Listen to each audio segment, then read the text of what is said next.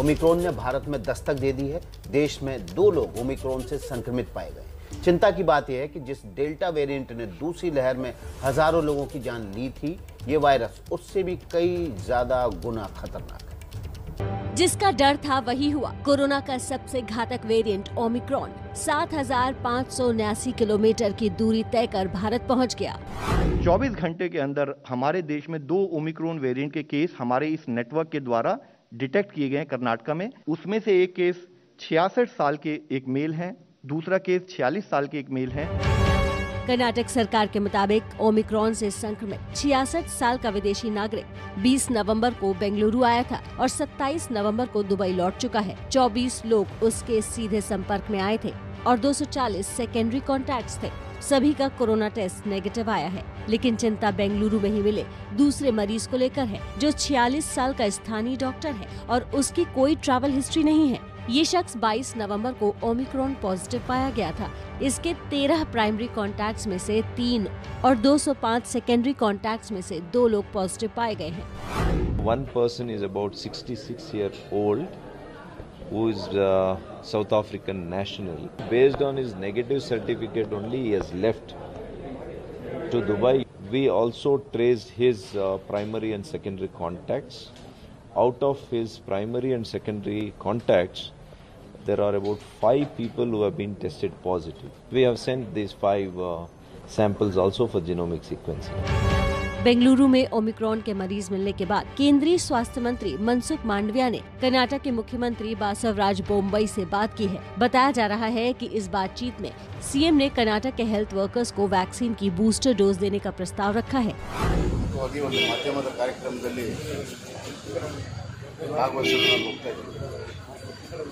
तो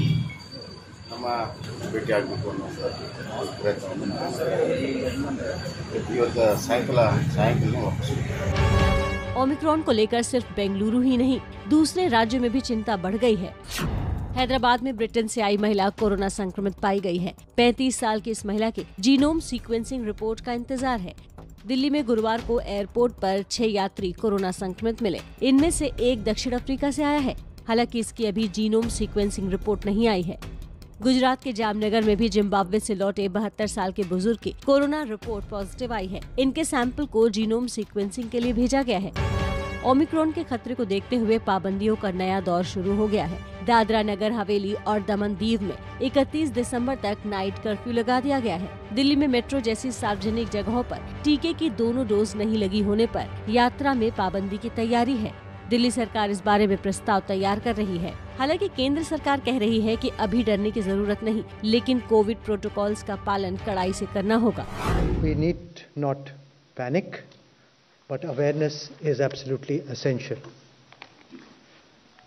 covid appropriate behaviour is required increased vaccine uptake is the need of the hour so do not and I emphasise do not delay in getting fully vaccinated.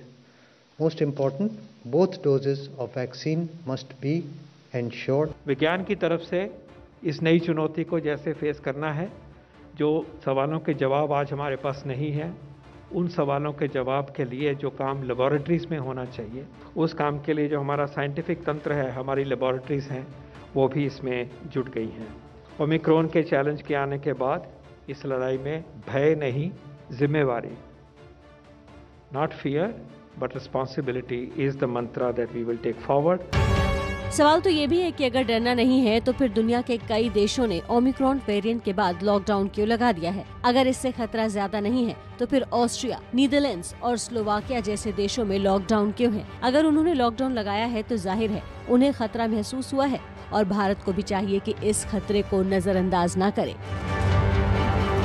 देखिए, देश में Omicron variant के मरीजों की संख्या अभी तो सिर्फ़ दो हैं, लेकिन आशंका है कि आने वाले वक्त में ये संख्या तेज़ी से बढ़ते नज़र आएँगे। ऐसे में सवाल ये कि अगर हालात कोरोना की दूसरी लहर वाले हुए तो फिर क्या होगा? क्या हम उससे निपटने के लिए पूरी तरीके से तैयार हैं? क्या आपको इन लोगों में कहीं भी कोरोना को लेकर कोई डर दिखा?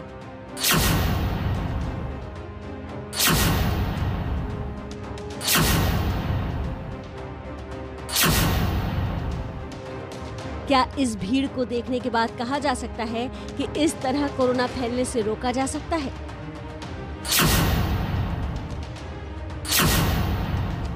इसका जवाब है नहीं, और ये तब है जब पिछले कई दिनों से हर तरफ़ कोरोना के नए वेरिएंट, ओमिक्रॉन की चर्चा हो रही है लोगों में भले ही इसको लेकर डर ना हो, या इससे पहले वो खतरा महसूस नहीं कर रहे हो, लेकिन सरकार की तरफ़ से तैयारियाँ शुरू कर दी गई हैं।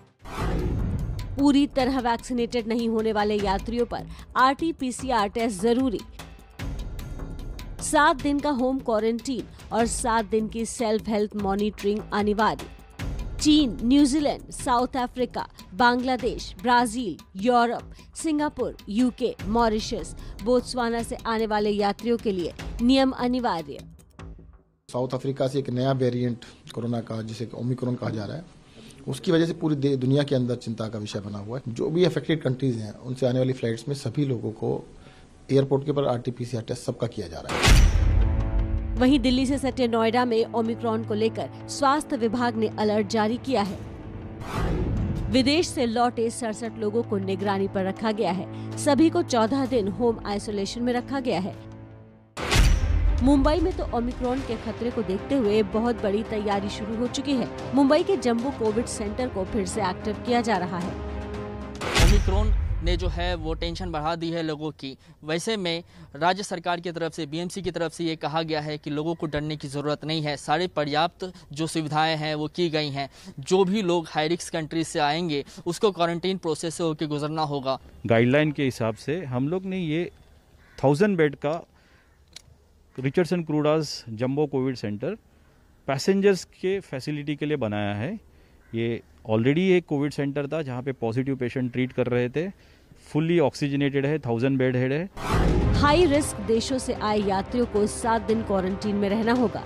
एयरपोर्ट पर हाई रिस्क देशों से आए यात्रियों का आरटीपीसीआर टेस्ट होगा। आरटीपीसीआर टेस्ट रिपोर्ट आने के बाद ही उन्हें जाने दिया जाएगा।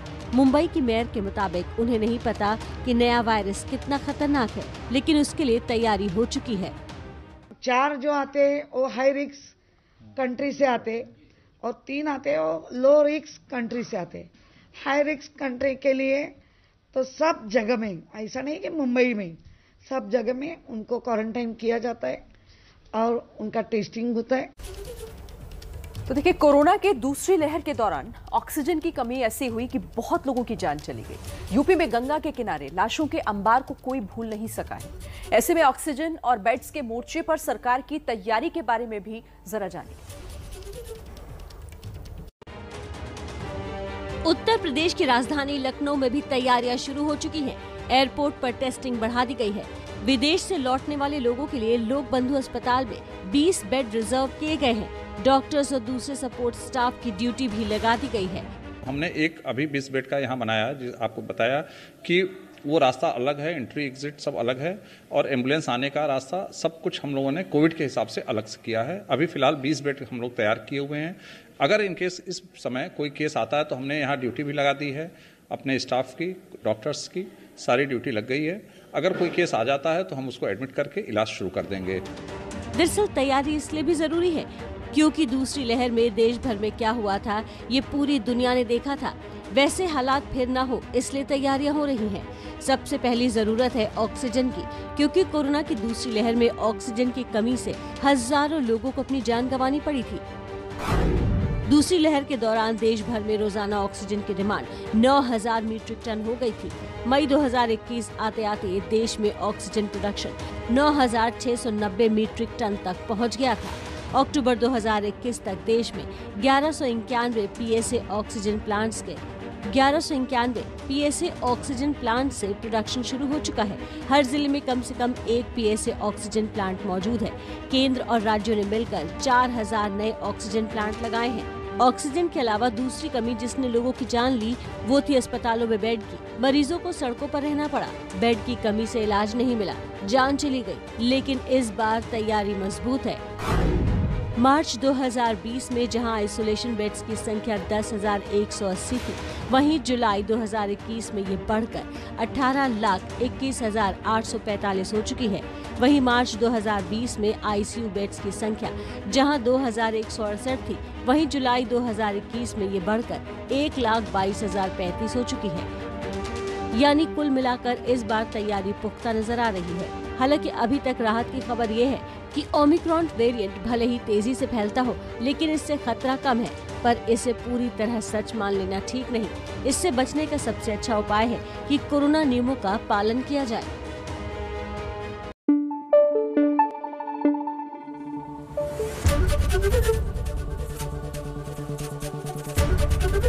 एबीपी न्यूज़ आपको रखे आगे।